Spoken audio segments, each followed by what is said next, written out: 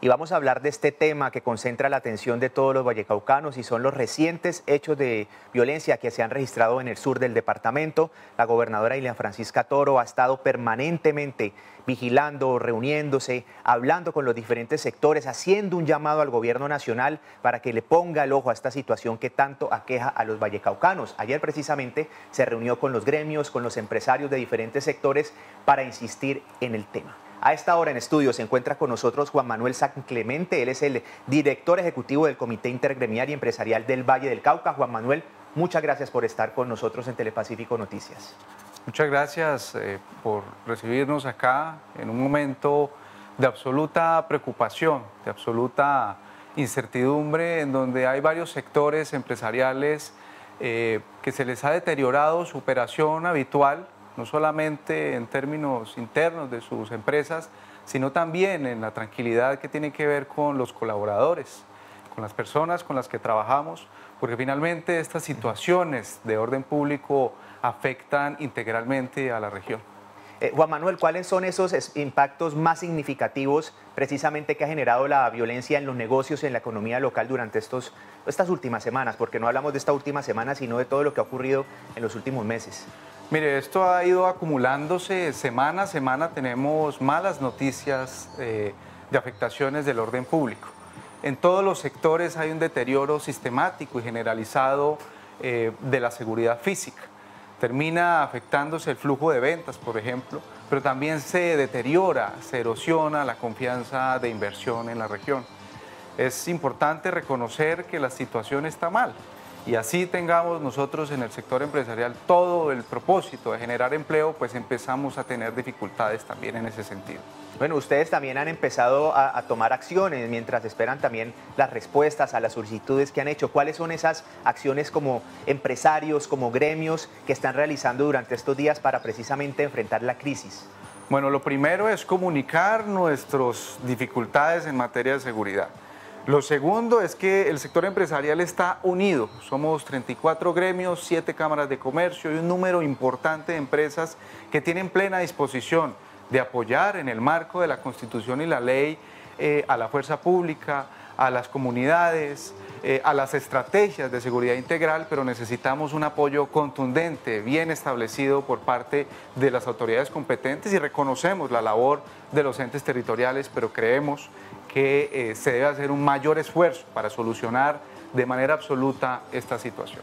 La gobernadora Dilian Francisca Toro ha sido enfática en este llamado al gobierno nacional. Ustedes se unen ahora a este llamado y además solicitan una audiencia, una reunión con el presidente Gustavo Petro. ¿Por qué nace esta idea y cuál es el objetivo específicamente? Porque lo que hemos visto es eh, el empeño por los alcaldes de los municipios afectados por la gobernadora en solucionar esta problemática en materia de seguridad física, con la capacidad institucional al límite. Pero lo que vemos es que se necesita más apoyo con contundencia. Y ese apoyo lo puede dar es el gobierno nacional y por eso solicitamos los 34 gremios y todo este ecosistema empresarial una audiencia con el presidente de la República para hablar de estos temas, de las afectaciones por sectores y finalmente cómo la población civil termina afectada en una situación de esta y lograr que se aumenten los recursos, que se aumenten las, las estrategias, por ejemplo, de sustitución de cultivos de uso ilícito, entre otros aspectos. ¿Cuál es el proceso a seguir? ¿Cómo hacen ustedes un llamado con una carta? ¿Cómo va a ser este proceso para que el presidente Gustavo Petro logre escucharlos y puedan acceder a esta reunión que tanto les interesa? Una carta al despacho del presidente de la República y por supuesto todas las voces de los empresarios del Valle del Cauca y creo que del suroccidente colombiano solicitando esa audiencia eh, es el camino a seguir. ¿Cómo la violencia, eh, Juan Manuel, eh, afecta, afecta a los sectores productivos de nuestra región. Hablemos especialmente del sur del Valle del Cauca, que es un lugar que ya se ha conocido por las diferentes entidades o temas productivos que hay en ese puntualmente, en ese tema puntualmente. ¿Qué dicen los empresarios de la zona? ¿Qué sienten en este momento por toda esta situación? No, pues mire, ayer nos enteramos que lamentablemente hay varias compañías, varias empresas que quieren eh, disminuir su capacidad instalada en esa región, en esa subregión del departamento, por temor, por supuesto, a la afectación de orden público.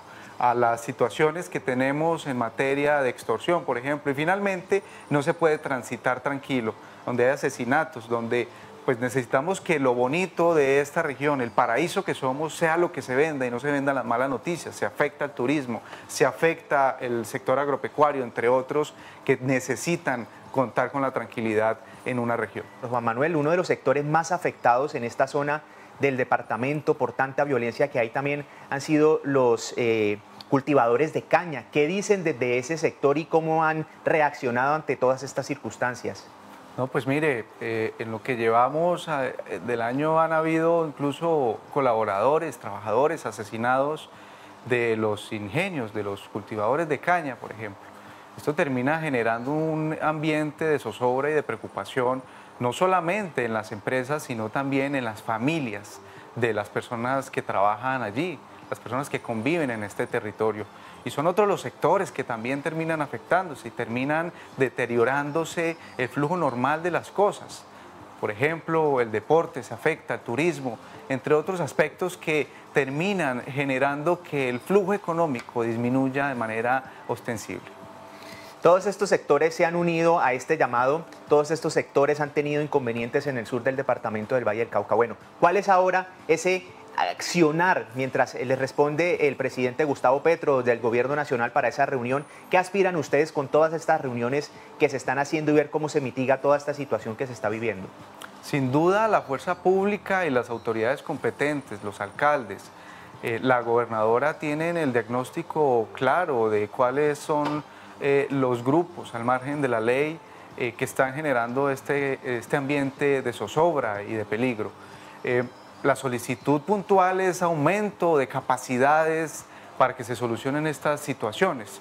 Y nosotros, desde el sector empresarial, pues manifestamos nuestro interés y apoyo de crear un portafolio de apoyo en bienestar, por ejemplo, a la fuerza pública, de apoyo con información desde nuestros sectores que sea de valor para la fuerza pública, pero esto no es responsabilidad de los empresarios, no es responsabilidad de la población civil, es responsabilidad de las autoridades competentes que están teniendo una capacidad limitada que necesitan un empeño más del gobierno nacional, aparte de lo que ya se ha hecho, que absolutamente eh, eh, hay que reconocerlo, pero falta mucho porque el problema sigue. Hay un enclave de cocalero en, en esta zona que es considerado incluso uno de los más grandes del mundo. Entonces aquí hay algo que hacer, por supuesto.